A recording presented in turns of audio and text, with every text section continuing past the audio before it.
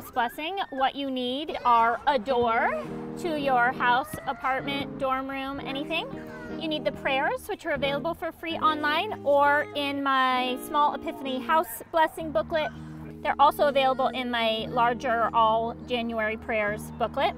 And you need a piece of chalk. Many parishes will hand out blessed chalk. If your parish hands out blessed chalk, then it's already blessed and you can go straight to step two. But if it's not blessed, you can use any regular chalk and bless it at home yourself.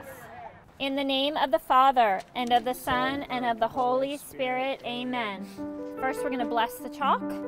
Our help is in the name of the Lord, the maker of heaven and earth. The Lord shall watch over your going out and your coming in. From this time forth forevermore. Let us pray.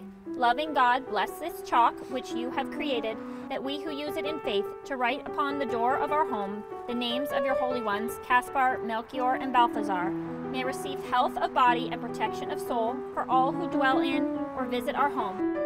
All right, so we're gonna write 20 for the year, and then across C, M, B, the names of the wise men. The three wise men, Caspar, Melchior, and Balthazar, followed the star of God's Son, who became human 2,019 years ago. May Christ bless our home and remain with us throughout the new year.